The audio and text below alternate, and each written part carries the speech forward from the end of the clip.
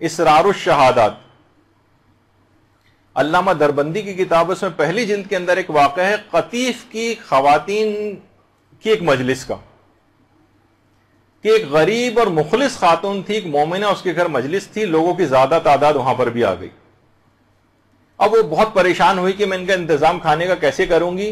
तो उस कतीफ की, उस मजलिस में औरतों ने बाकायदा मुशाहिदा किया कि अचानक से कुछ नूरानी और मलकूती खातन उस महफिल के अंदर आ गई।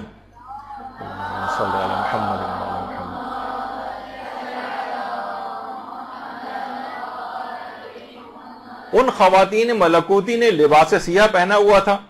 बहुत सी औरतें मजलिस अजा के अंदर जो शरीक थी, वो उनकी नूरानियत और मलकूतियत को बर्दाश्त नहीं कर सकी और गश खा गई।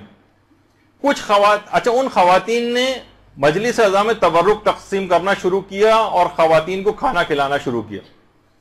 चंद खातन ने हिम्मत करके उनसे पूछा, उन नूरानी खातन से कि आप कौन हैं?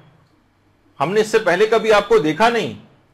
तो एक नूरानी शख्सियत ने खातून ने उसमें से कहा कि मैं कुलसूम दुख्तर अमीरुल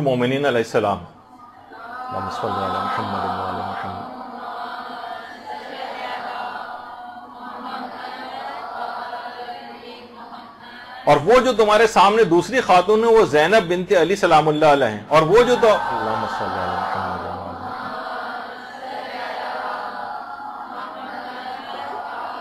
और वो जो तीसरी खातून तुम्हारे सामने वो खदीजा ताहिरा हैं।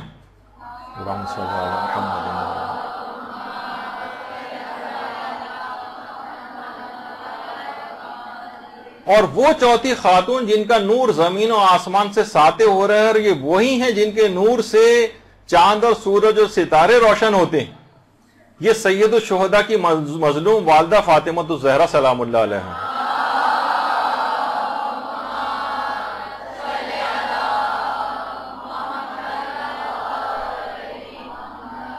हम इस मजलिस में इस वजह से आए हैं ताकि हम तुम्हें इससे शर्मिंदगी से बचाएँ। और तबरुक हम खुद तकसीम करें। बाकायदा इसरार शहाद अक्सर इबादत की इसरार शहादात में अलामा दरबंदी ने इसकी पहली जिल्द के अंदर इस वाक़े को लिखा। तो इस तरह से मजाल से अज़ा के तबरुक की तकसीम के लिए नूरानी शख्सियतों का आना भी मुशाहिदात के अंदर आया है। कतीफ़ की खातन का यह वाक़ बहुत मशहूर हुआ था, यहाँ तक कि इस किताब तक के अंदर ही आया।